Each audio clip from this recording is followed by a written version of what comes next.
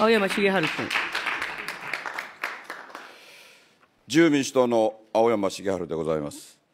えー、国会審議はすべて意義深いんでありますが、この決算委員会は特に意義深いというふうに理解しておりますので、質問の機会をいただきまして、ありがとうございます。えー、党利党略でなく、国益のためにこそ質問いたします。えー、まず、原田義明環境大臣にお尋ねいたしたく存じます。福島原子力災害の被災地におきましては、今もこの瞬間も不祖の地を取り戻すための努力が続いています。予算を投入して除染が行われまして、すでに完了した地域もあります。しかし、住民の方々のふるさと復帰はなかなか進まないのが現実であります。そこには複合的な深刻な要因がありますけれども、本日は質問時間が短いですから、一つに絞ってお聞きします。それは事故の発生当時に IAEA、国際原子力機関の国際原子力事象評価に、評価尺度において、チェルノブイリ事故と同じくレベル7とされていることです。えー、不詳私は民間時代から実務上の専門分野の一つが危機管理でありますから、事故の発生直後の西暦2011年3月あごめんなさい4月15日に許可を得て、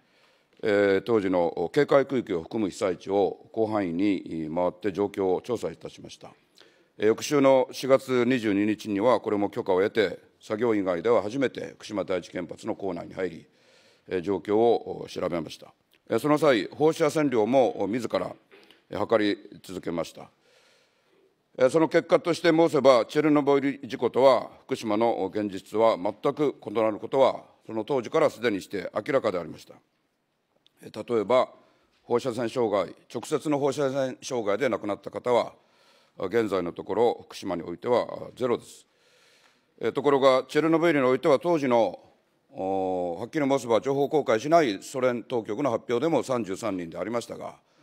世界の専門家では、はるかに桁違いの直接の放射線障害による死亡された方がいらっしゃるというのは、広く推定されているところです。えー、誤解があってはいけないので、あえて申しますけれども、福島原子力災害におきましても、事故の関連死、すなわち誤った避難の仕方などによって、不幸にも亡くなられた方は、なんとおよそ2000人に及ぶという現実は一方であります。こうした事実は私が国会に出ましたから何度も質問いたしまして、原子力規制委員会などからご確認をいただいているところです。しかし一方で、IA の前日の基準において、チェルノブイリと福島が同じだと、同じレベル7だと区分されている以上は、世界と日本の多くの人々が、まあ、この2つは同じような事故だと考えるのもある意味当然のことです。えー、例えば直近のことで言いますと、WTO の上級審におきまして、えー、福島を含めて日本の安全な水産物を輸入禁止にしている韓国の不当な措置について、え、これを認めるかのような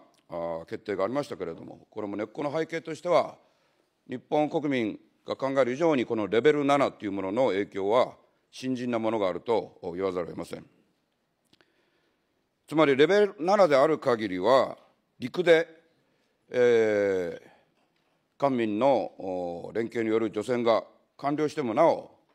それから海で水産物への汚染がなくなってもなお、人々の疑心暗鬼はなくなることがありません。レベル7とされた当時、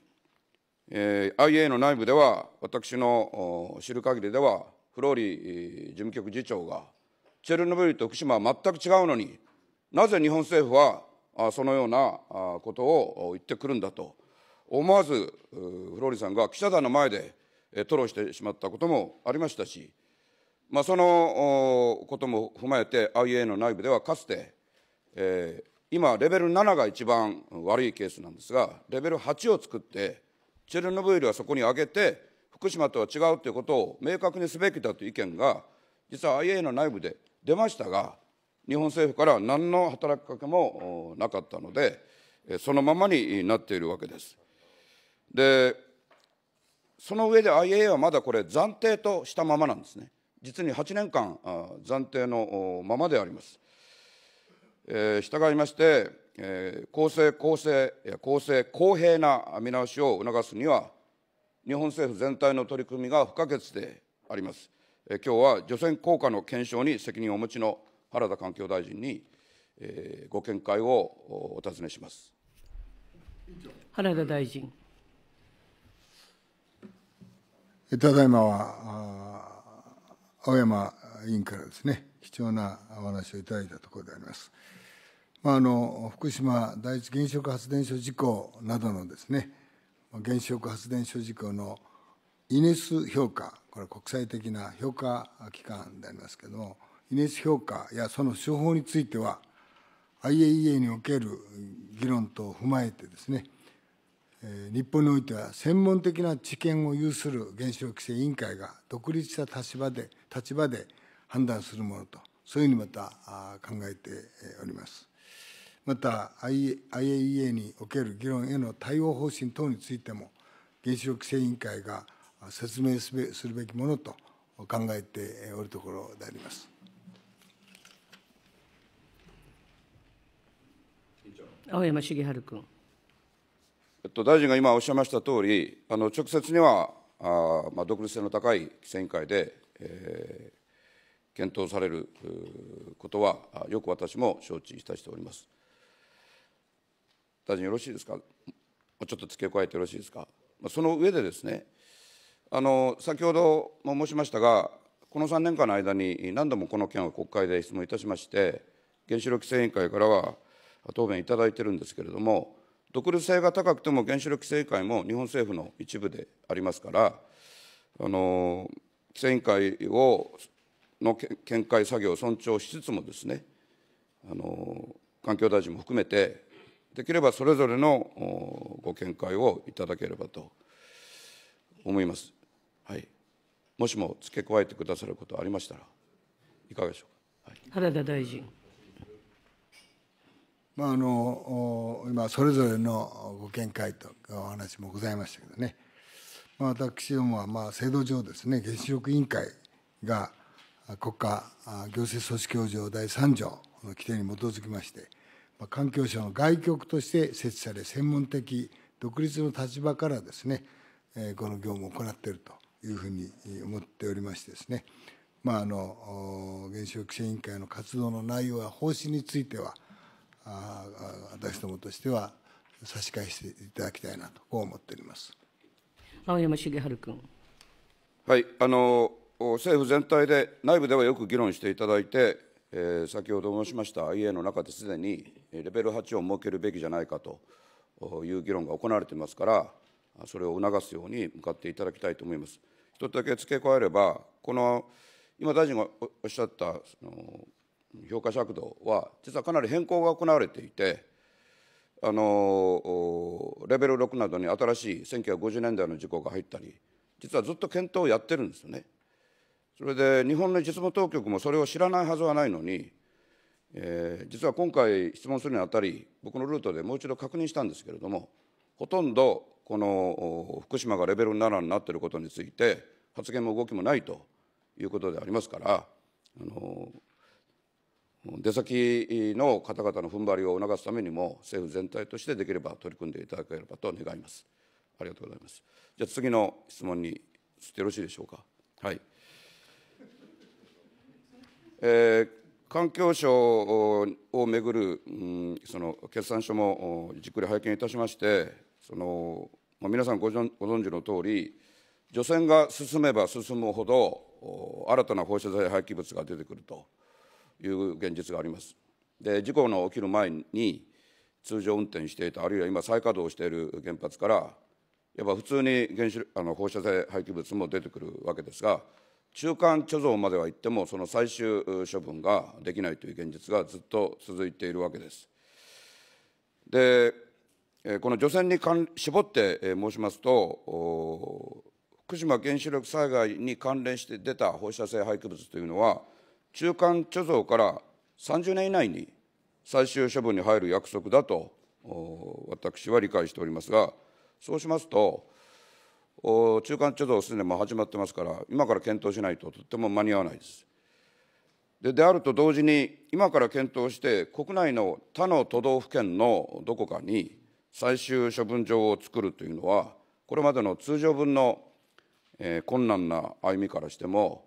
まあ、極めて難しい、もっとはっきり言うと、現実にはできそうもないと、そうすると、福島原子力災害の大事な部分もいつまでたっても終わらないと。いうことになります。でそこであのせっかく決算委員会で質問させていただきますから、ちょっと今まで世の中に申してなかったことをあえて専門家の端くれとして申せばですね、陸が無理であれば、他の空間を考えざるを得ない、それはあのそのように決めるべきだと申しているんではなくて、検討せざるを得ない。でそうすると、陸でないところっていうのは、現実には宇宙空間と海洋しかないわけです。実は私の治癒の科学者の中にも、この宇宙空間での処理を提案なさる方もいらっしゃいます。しかし、それを30年というタームでやるというのは、現実にはとても無理だと、個人的、まあ、個人的見解ですけど、思います。そうすると、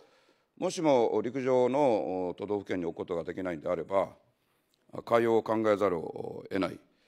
で廃棄物、放射性廃棄物を固め上げて、日本の EEZ は実は世界第9位の海で考えると9位、陸地を含めると第6位の面積になるという広大なところですから、しかも深海部分、深いところを考えれば、日本の深海技術は世界トップです。つい先日も、ジャムステックが海洋開発研究機構ですね、えー、5535メートルの深海底を掘削しまして、そこからレアアースで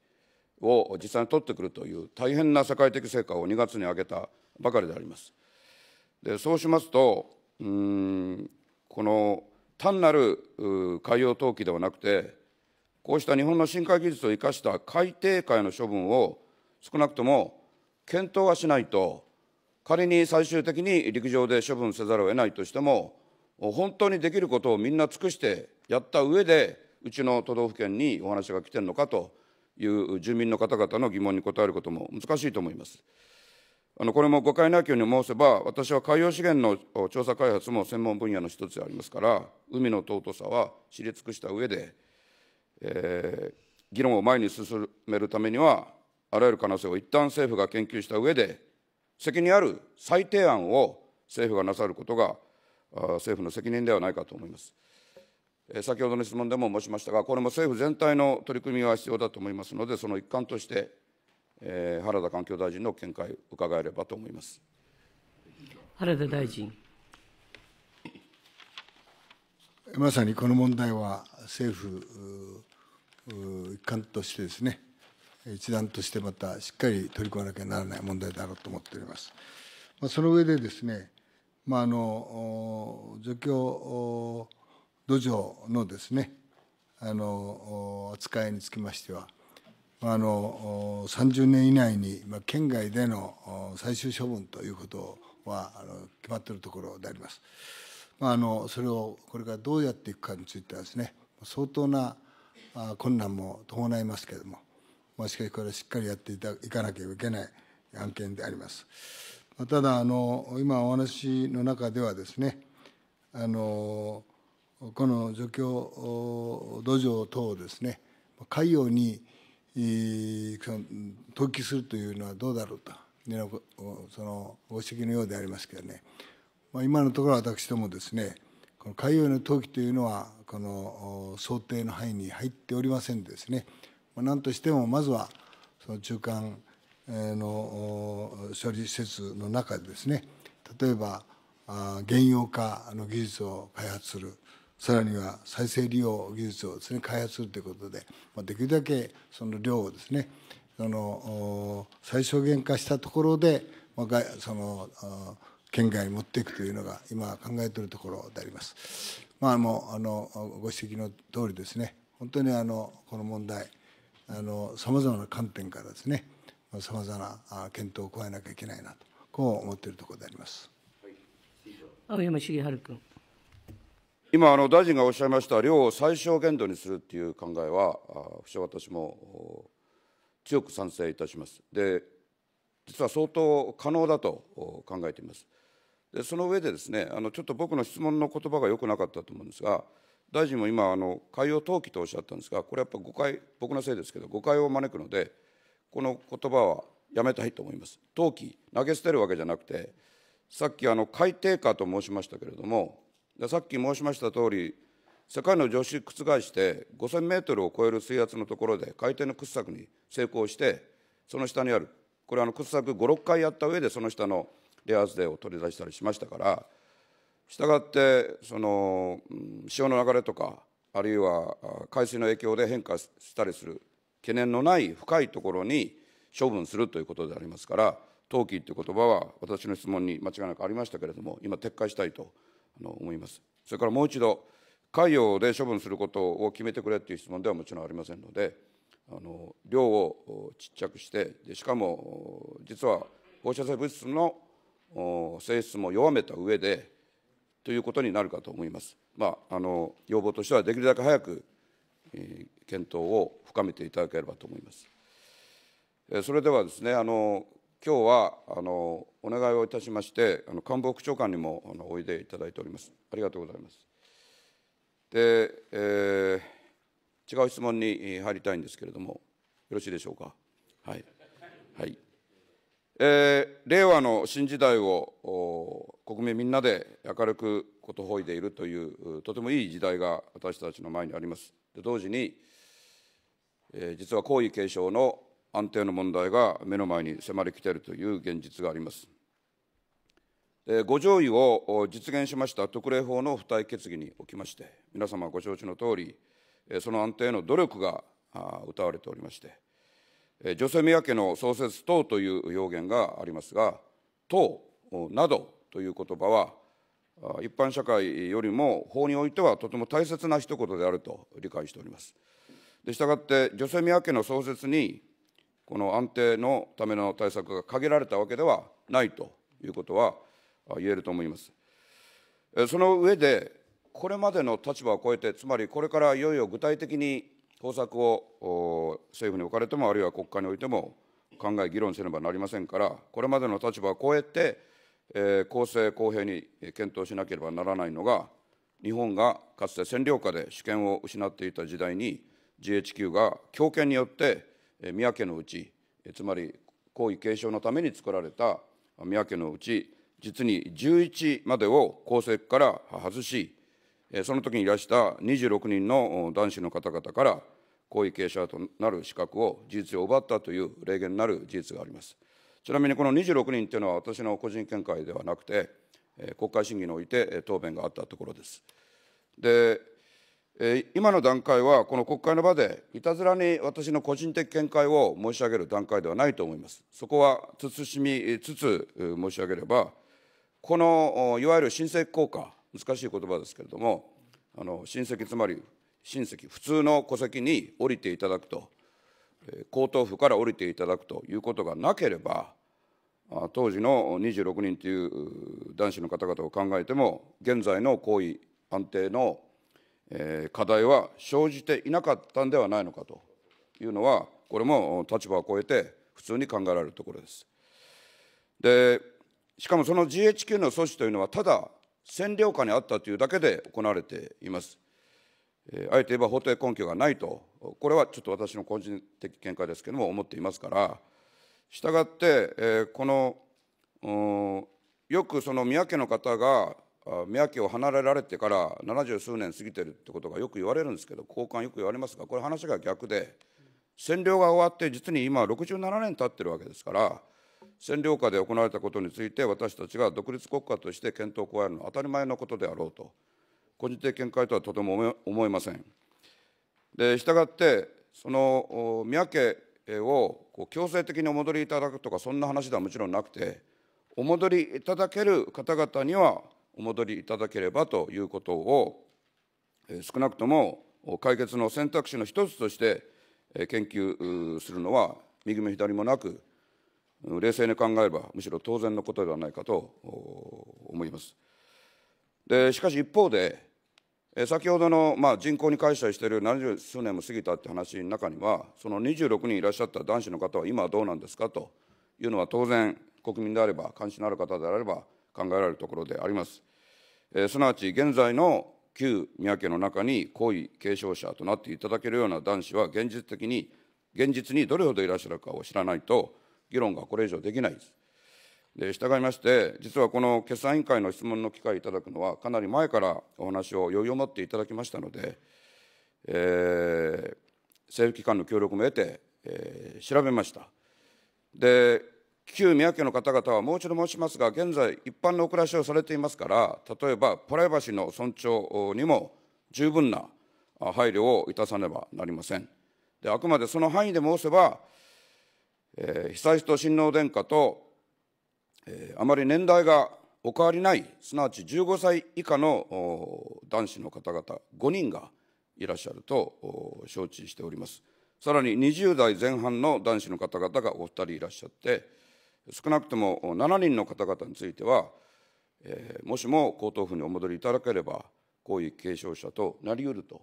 いうことが考えられると思います。でこれは先ほどあの令和の時代をことほぐ明るい日々を私たちは実は過ごしているということを申しましたけれども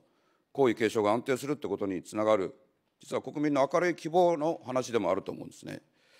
でつきましてはまず政府としてはどのような確認をなさっているのかをお尋ねいたします。宮内庁、えー、長官官房、えー、小山審議官。お答え申し上げます。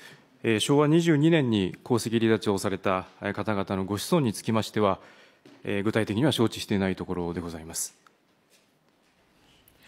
青山茂春君。えっと、政府参考人から、まあ、あのこういう答弁あっても、まあ、微妙な情勢ですから、それは理解しなくはないんですけれども、しかしですね、先ほど申しましたとおり、このままですと議論の前提がないんですよね。あの旧宮家の方々の例えば未成年の方々のご意思とかそれから例えばご両親の方々のご意思とか丁寧にあのプライバシーなどを守りつつ、まあ、広く人権全般を守りつつ考えなければいけないのいけないのはあの必ずそうしなければいけないことでありますけれどもしかし皇位継承に継承者になるような男子の方がいらっしゃるかいらっしゃらないか何にも分からないまま宮家の旧宮家の方とご相談仮に政府が今後非公式になさるとしてもそれは逆に失礼なことだと思います。したがって、え委員長のお願いがございまして、先ほど申しました十分なプライバシーの尊重などの、え徹底的な配慮をいたした上で政府からこれに関連した資料を国会に、えこの委員会に、え出すことをお願いいたしたく存じます。はい、はい、えー、この件につきましては、えー、五国理事会において協議をいたします。はい、青山茂春君。えー、ぜひ期待いたしたいと思います。あの協議いただくことに感謝いたします。でその上でですね、えーまあ、家庭の話になって恐縮なんですけれども当然私たち国会にいるもので考えなきゃいけないのはもし仮に旧宮家から皇統府に皇籍に復帰いただく場合があるとしたらどのような法的手続きが必要なのかということはこれもあえて申せば事前に国会として熟知していなければ議論ができないと思います。えー、まずどのような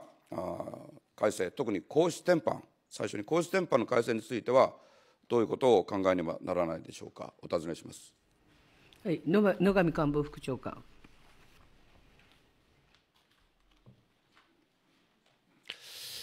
委員ご指摘の旧宮家の功績復帰等を含めたさまざまな議論があることは承知をいたしておりますが、安定的な行為の継承を維持することは国家の基本に関わる極めて、重要な問題でありまして、男系、継承が古来例外なく維持されたことの重みなどを踏まえながら、慎重かつ丁寧に検討を行う必要があります。また、女性皇族の婚姻等による皇族数の減少等につきましては、皇族方のご年齢からしても先延ばしすることはできない重要な課題であると認識をしております。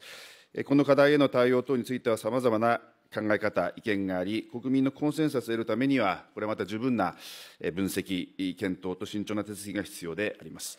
えー政府としましては、まずは天皇陛下のご即位に伴う一連の式典が国民の皆様の祝福の中でつつがなく行われるよう全力を尽くし、その上で、えー衆参両院の委員会で可決された付帯決議の趣旨を尊重して対応してまいりたいというふうに考えております。青山茂春君。えー今日はなかなかあの、えー困難な答えお答えも多いんですけれど、まあ、それは今、副長官がおっしゃったように、別に与党だからそう申すんじゃなくて、実はあの令和の時代、えー始まって、えーいますし、もう本当に幸いにも無事にえーつつかなく進行しているわけですけれども、11月、少なくとも11月までの一連の行事が終わらないと、お御代替わりが本当に、えー幸せに達成できたとは言い切れない状況ですから、えー危機管理の観点からしましても、まあ、今の段階ではそういうお答えになることもあり得るとは思います。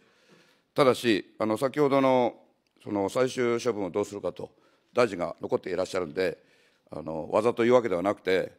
ぱりこれあの、微妙かつ難しい問題ほど早く検討しなければいけないのは当然のことでありまして、そうすると、この国会の任務としても、先ほどの最も難しいその放射性廃棄物の最終処分の問題にしても、皇位継承の問題にしても、根っこは同じでありまして、その資料が早めに国会に提出していただいて、えー与野党の垣根なく良き議論ができると思いますので、えーそれを改めてあのお願いいたしたいと思います。えーちょっと早いんですが、はいえー私はこれで終わりたいと思います。ありがとうございました。